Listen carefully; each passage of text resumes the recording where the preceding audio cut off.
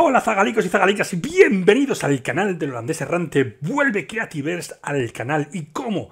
Pues con un tutorial de cómo traducir al español Creativerse Bueno, como parece ser que el tema de las traducciones lo peta y mucha gente me lo habéis preguntado por privado y os he metido en mi grupo de Discord y os he pasado los archivos, y os he pasado las cosas y os he pasado paso por paso cómo hacerlo Pues hoy lo vamos a hacer aquí en directo para que todos podáis ponerlo en castellano. Así que si queréis más tutoriales como este, que si os gusta el canal, que si os gusta todo, pues suscribiros al canal, dejadme comentarios, decidme qué queréis, qué juego queréis que traduzca, qué queréis, en qué queréis que os ayude, tutoriales de videojuegos, dejadmelo todo en comentarios, que yo lo estudiaré todo e intentaré hacer los tutoriales conforme mis posibilidades. Hoy nos vamos a centrar en Creativerse, traducido al español. Vamos a ver cómo se hace punto por punto, paso por paso. Vamos a ello.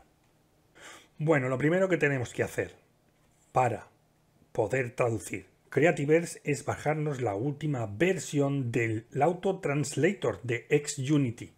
Todos los juegos que están basados en Unity se pueden traducir, entre comillas, porque que quede muy claro, si los juegos tienen imágenes, con texto incorporado a la imagen, es imposible que se traduzca, porque esto lo que hace es utilizar el traductor de Google, traducir el juego.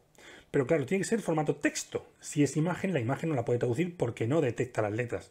Eso es imposible. Por eso muchas veces cuando utilizamos este tipo de traducción, entre comillas, pues lo que ocurre es que estas imágenes no se traducen. Así que lo primero que vamos a hacer es descargarnos la última versión del XUnity Auto Translator. Eh, nos vamos a bajar el archivo RayParcher 4.15.0 ¿Sí? Lo guardamos. ¡Pam! Ahora lo vamos a copiar. Bien, lo pegamos en la carpeta donde tengamos instalado Creativerse. En este caso yo lo tengo en I, Program Files, Steam, Steam Apps, Common, Creativerse. Pegamos y descomprimimos aquí, Extract Here. Vale, me dice que ya existe. He dado Yes. Vamos a probar la última versión. Eh, le damos a Setup Ray Parted and Auto Translate. Ping, ping, ping, ping, ping. Bien. Completado. Nos vamos al Creative Parts and Run. Ahora me lo va a arrancar.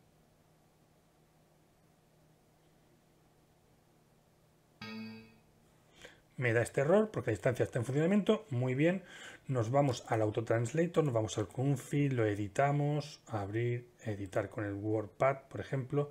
¿Vale? Lenguaje es from lenguaje en, ¿vale? Del inglés al español. Muy bien, esto ya lo tenemos. Esto ya lo tenemos. Vale, pues ahora solamente tenemos que ejecutarlo. ¡Tachan! Como podéis ver, jugar, tienda, configuraciones, perfil, dejar, cofre libre en 3 horas. Si le damos a jugar, voy a meterme en este mundo que estoy creando para hacer tutoriales.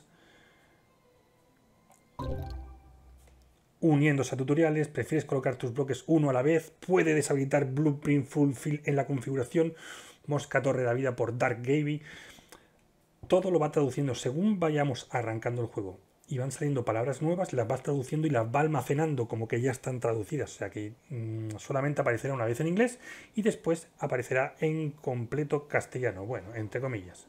Bueno, aquí si por ejemplo yo le doy a la E y me pongo a mirar aquí, bueno, aquí sí lo tengo todo traducido, o irá todo traduciendo según vayamos, pero por ejemplo nos vamos a aquí y si yo pincho aquí, estación de cocina, extractor, vale, año de la rata, escalera, techo, como podéis ver, todo en perfecto castellano. Mira, aquí por ejemplo no está en castellano, pero lo irá traduciendo poco a poco.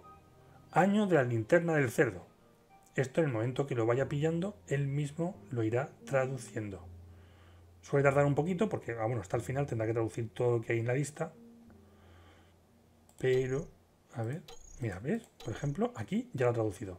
Utilizarlo para construir carece de todas las innovaciones de alta tecnología. Vale, perfecto. Perfecto. Tengo misiones que completar. No, las tengo todas hechas, ¿no? 52, 52. Es que soy una máquina. Bueno, en fin, pues esto es todo. Espero que os haya gustado, que haya sido claro. Y nada, ya tenéis Creatives en castellano y no necesitáis que os diga por privado cómo hacerlo.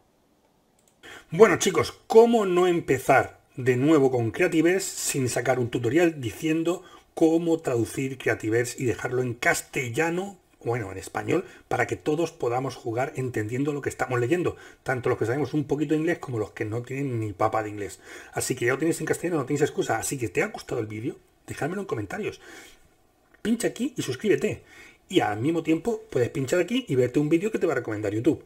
Y nada más, déjame un like y nos vemos en próximos vídeos aquí en el canal del holandés errante. Bye bye.